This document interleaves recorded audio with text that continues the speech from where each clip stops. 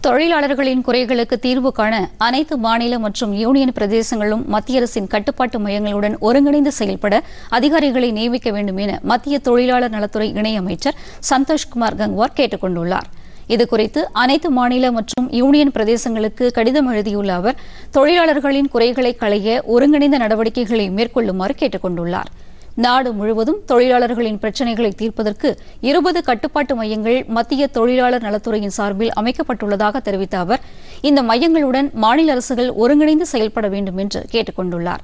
தொழிலாளர்களின் ஊதியம் வாழ்வாதாரம் உள்ளிட்ட பிரச்சினைகளுக்கு தீர்வு காணும் வகையில் நடவடிக்கை எடுக்கப்பட்டுள்ளதாக அவர் கூறினார்.